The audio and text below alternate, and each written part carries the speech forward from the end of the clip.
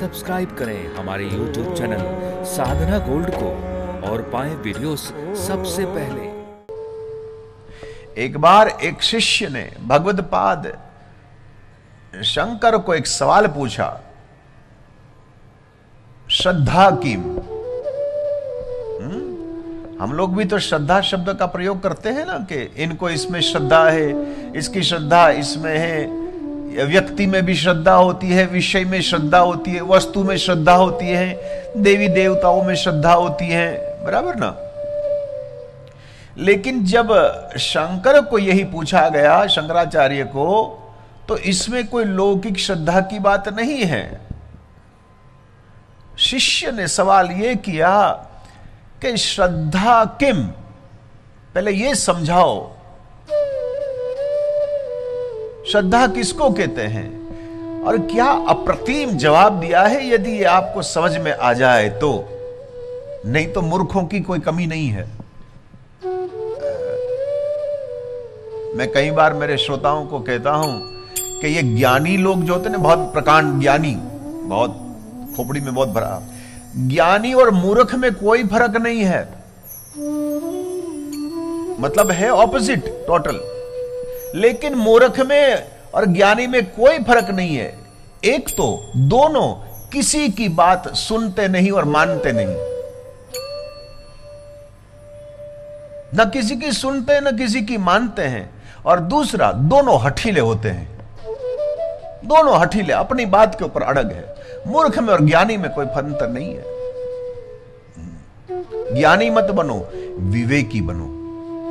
विवेकी बनो। विवेक में और ज्ञान में बहुत अंतर है। तो सवाल भगवत बाद शंकर को यह पूछा गया, श्रद्धा किम? तो क्या जवाब दिया उसने?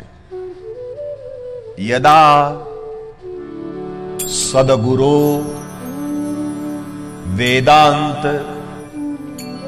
वाक्य दिशु विश्वास। सा श्रद्धा। आहा। क्या शब्द बोले ये महापुरुष? श्रद्धा की बात भगवत पाद शंकर ने कैसे करी है कि जब सदगुरु, यदा सदगुरु वेदांत वाक्य है, देखो क्लैरिफिकेशन देखो, ये महापुरुषों की बाणी जो होती है ना हम बहुत लाइटली ये चीज़ ले लेते हैं। जैसे हम आपस में हम कई बार बातों करते हैं ना तो बहुत ज़्यादा सामने वाला क्या बोल रहा है उसके ऊपर हम ज़ोर नहीं देते। और हम सुनते भी हैं, सुनते हैं इसीलिए जवाब देने के लिए, समझने के लिए नहीं सुन रहे तुम। सामने वाले को पहले तुम बोलो, बोलने दो, फिर बीच में टपकना। बीच में बोलना, ये ये शिष्टा विरुद्ध है।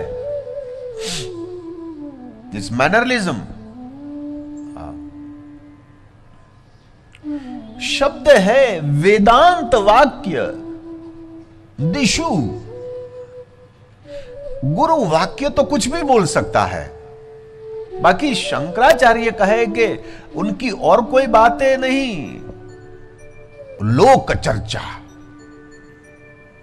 लोक चर्चा न करे तो यदि गुरु भी इधर उधर की बात करे लोक चर्चा करे, उसकी कोई वैल्यू नहीं है। शंकर तो यह कह रहा है कि वेदांत वाक्य दिशु। और उसी में भी विश्वास विश्वास।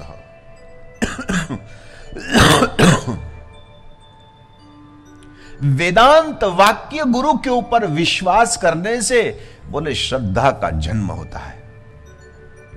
विश्वास उसी को कहते हैं जो हमेशा के लिए है, जो अटल है, जो अचल है, जिसको कोई हिला नहीं सकता। उसको विश्वास कहते हैं। इमूवेबल इसको हिला नहीं सकते। और इस अचलता में इमूवेबल जो है, जो स्थिरता का प्रतीक है विश्वास, उसी में से ही श्रद्धा का जन्म होगा।